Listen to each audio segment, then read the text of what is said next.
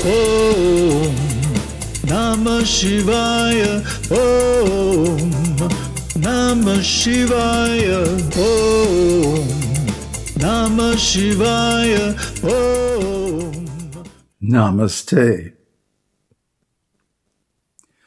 So, this sutra, this Adhikarana, is about the fact that the Upanishads are the source of knowledge about Brahman.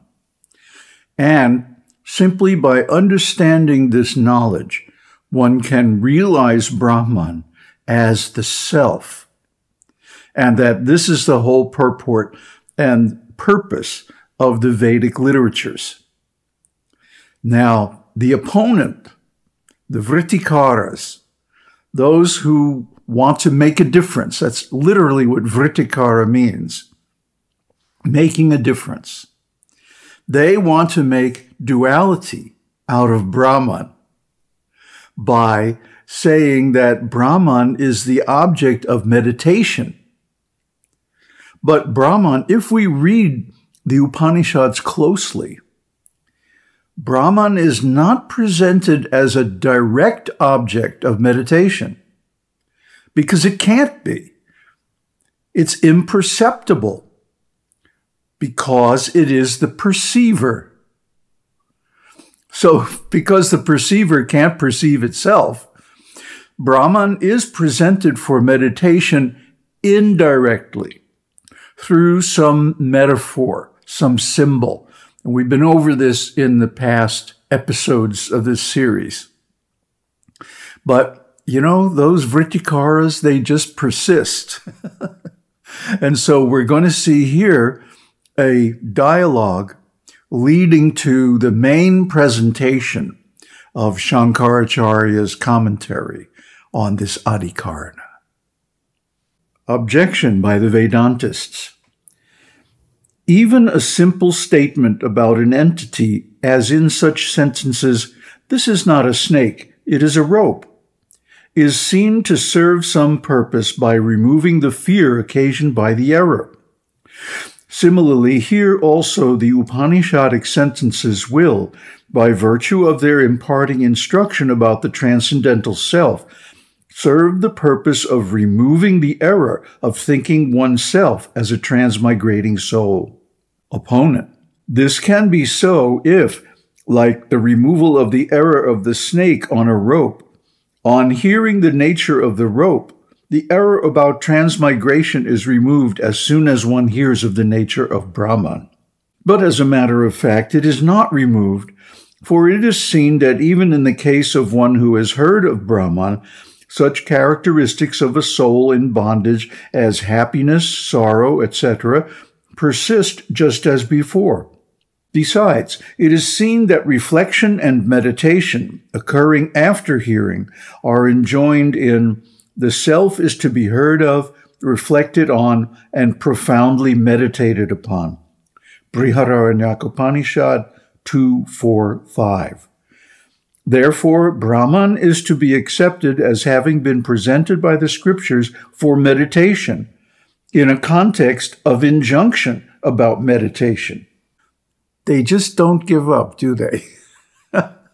well, they have to present Brahman like that because they can't realize Brahman because they think Brahman is an object of meditation. But Brahman, in reality, never becomes an object of anything, even a process of knowledge or perception, such as meditation. Meditation means fixing the mind on an object and because Brahman is always a subject, meditation on Brahman is impossible. Can't happen in a million years. But they have to see it like that because they cannot get rid of the idea of an object. And so all of their interpretations are thrown askew because of this fundamental misunderstanding of Brahman.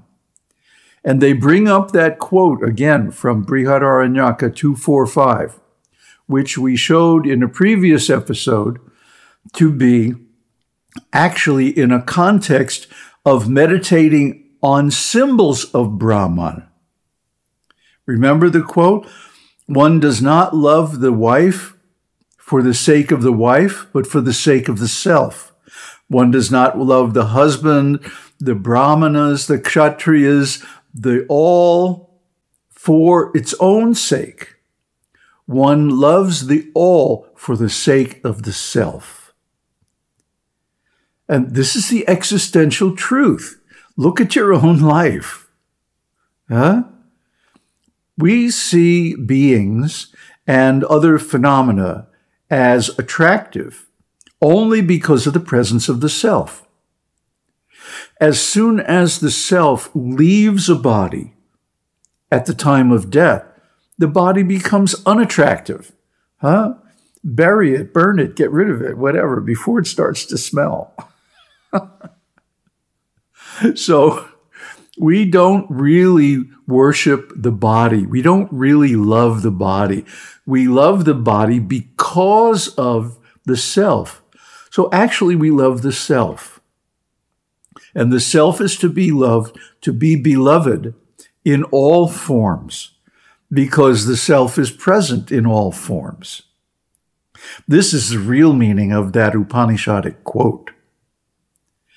So now, the Vedantists are going to come back with the major presentation of the meaning of this sutra that the knowledge of the self of Brahman is derived from the Upanishads. Vedantin. With regard to this, we say, not so, for the results of action and the knowledge of Brahman are different. By virtuous deeds are meant those physical, vocal, and mental actions which are well known in the Vedas and Smritis, and an inquiry about which has been set forth in the aphorism, Hence, thereafter should be commenced an inquiry about virtuous deeds. Jaimini Sutra 111. Even vices like injury are to be inquired into with a view to shunning them for they too are revealed in the Vedic sentences expressing prohibition. Happiness and sorrow are the results of these two, of virtue and vice, consisting of good and evil, with regard to which the Vedic texts of injunction and prohibition are authoritative. And these results arising from the contact of senses and objects are familiarly experienced by all creatures ranging from Brahma to the motionless, trees, etc. The gradation of happiness among embodied beings, starting from men and ending with Brahma, is known from the Upanishads.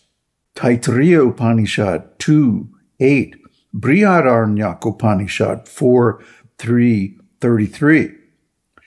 From that again is known a gradation in its cause, which is virtue. From a gradation of virtues is known a gradation among the persons qualified for them.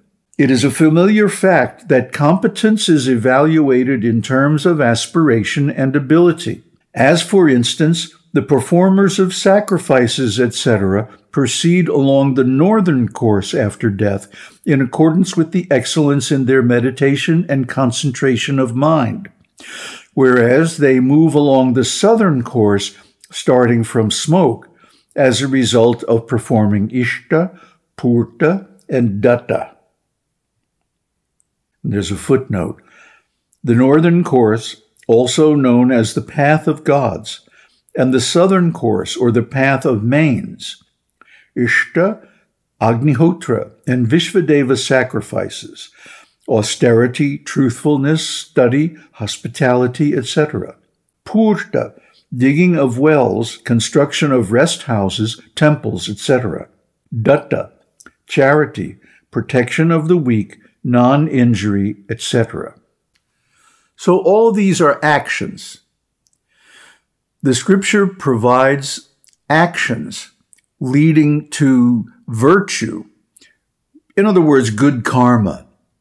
And that good karma takes one along a path after death to a destiny or destination, according to the degree of its purity and power. So ordinary austerities such as digging wells, offering hospitality to strangers, etc., etc., these good works, charity in general, is necessary for a human society based on wisdom instead of animal society based on greed like we have today. These gifts to humanity in general lead one along the southern course, which goes to the moon and leads to rebirth in a pious human family. But those meditational austerities leading to realization of Brahman result in moving along the northern course or the path of the sun to Brahmaloka and beyond to Brahman itself. These are the two paths of the virtuous beings which are revealed in the last chapter of Brahma Sutra, which everyone should read because it clarifies the whole subject of destiny after death and who gets to go to which level of heavens and so on and so forth. And of course, you know, the evil personalities who indulge in all kinds of harm uh, don't even see the path of the moon. They go directly to the house of Yama, where they are assigned to different hells according to their nefarious activities. And then they have to come back in animal births or even plants, non moving species. There again, in the world of the moon, a gradation of happiness and the means of its attainment is known from the text, residing there as long as the result of action, producing the enjoyment, lasts, they come back. Chandogya Upanishad 5.10.5 Similarly, the little happiness existing in a graded order among creatures ranging from men to the immobile and hellish ones is known to be the product of virtuous deeds themselves, about which the Vedic texts are authoritative. So also from a perception of a gradation of sorrow among higher and lower embodied beings, it becomes clear that there is a gradation in their causes, which are the vicious deeds prohibited by the authoritative Vedic texts, and that there is also a gradation among the performers of these deeds. Thus, it is well known from the Vedic texts, smritis, and reasoning that this transient world is constituted by a gradation of happiness and sorrow, that this gradation occurs to persons who are subject to such defects as ignorance, and that it comes to them after their birth and in accordance with the gradation of their virtuous and vicious deeds in earlier life. In support of this, there is the Vedic text.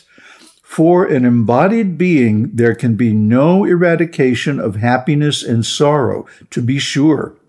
Chandogya Upanishad 8, 12, 1, which is a corroborative restatement, anuvada, of the nature of the world described earlier. And from the denial of any contact with happiness and sorrow as contained in the text, Happiness and sorrow do not touch one who is definitely bodiless.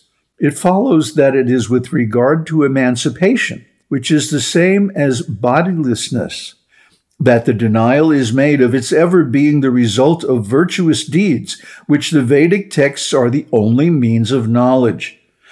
For if it be a product of virtuous deeds, for example, meditation, there can be no denial of its contact with happiness and sorrow. In other words, happiness and sorrow is endemic in dualistic life, whether it be on earth or in the lower heavens or even in hellish conditions. That's conditioned existence. That's what conditioned means, conditioned by happiness and distress. But when one attains liberation, there's no more happiness and distress because one has become one with the universal Brahman. Aum Tat Sat. Aum Shakti Aum. Aum Namah Shivaya.